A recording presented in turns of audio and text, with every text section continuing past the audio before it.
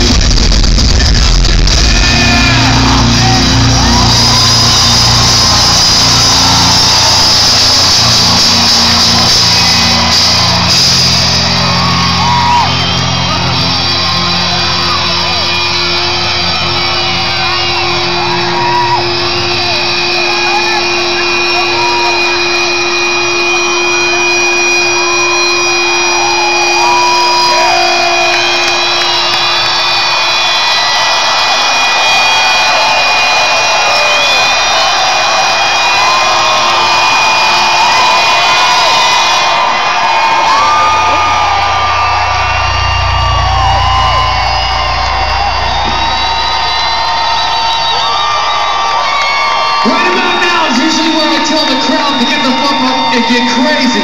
But I think you guys got that shit